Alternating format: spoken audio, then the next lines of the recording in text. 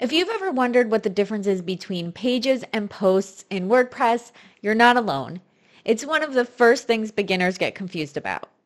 In this video, I'll break it down quickly and simply so you can know the difference between a post and a page and when to use either of those. So let's get started with talking about what the difference is. Pages are static, timeless content.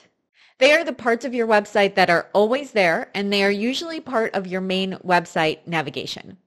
They are not time sensitive, and you do not organize them with categories or tags, but they do have a hierarchy, so you can have parent pages and child pages. Posts, on the other hand, are dynamic, time sensitive content. They are published with a date, and they can be categorized and tagged for organization. They can also appear in RSS feeds, which is great if people want to subscribe to your blog. So the question is, when should you use pages versus when should you use posts? So you want to use pages for permanent site content. This often includes information to help your client trust you and learn about the services you provide. Some examples of pages are the home page, the about page, the contact page, and the page that talks about the services you provide. Some examples of pages are the home page, the about page, the contact page, and any pages you make talking about the services you provide. Posts are going to be fresh, regularly updated content. This is often where you can show off your knowledge and that you are an expert in your industry.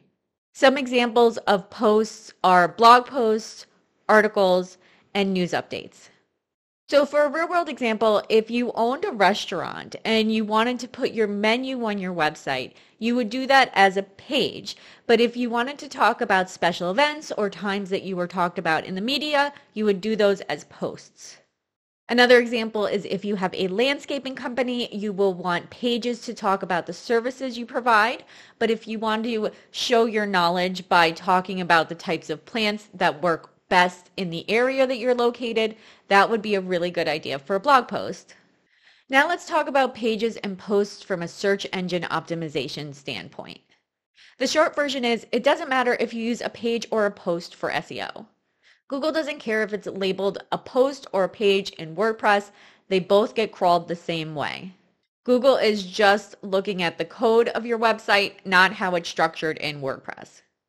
But internal linking and site organization does matter. And sometimes it's easier to do that with posts rather than pages. But you should always have an organized structure and good internal links for both posts and pages. The most important thing for SEO is always high quality, relevant content, and you can do that on pages or on posts. So now let me show you how to make a post. So you're going to want to sign into WordPress and then you are going to want to go to posts and hover over that and then click add new post. And then you want to give your post a title and then put in some content. And then over here on the right sidebar, make sure post is chosen. And then down here, you're going to want to click into categories because every post needs to have a category and we are just going to create a new one here and we'll go ahead and call it test. And then when we are done with that, we are going to scroll down even more and see that tags are down here and you can put in tags here if you'd like. I do have it on my list to do a video all about tags and categories. So when that's done, I will link that below if you're confused about the difference between them and when to use either of them. And you can also set a featured image if you'd like by scrolling up and clicking set featured image, which brings you to the media library. We'll go ahead and choose this cute little kitten right here and then click the set featured image button in the bottom right.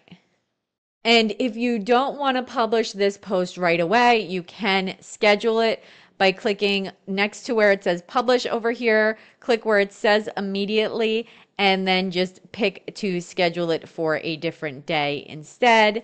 And then this button that did say publish now says schedule. So you would click that to schedule the post. If you wanted to publish it immediately, of course, obviously just hit publish. And then you would have to come to this confirmation sidebar. And then you want to click the schedule button again. And if you're publishing immediately, this will say publish instead of schedule. And now you see the confirmation that the post is now scheduled. Now let's make a page. So we're going to click the WordPress icon up here to go back to the dashboard. And now we are going to hover over pages and go to add new page. We are also going to put a title and we are also going to put some content.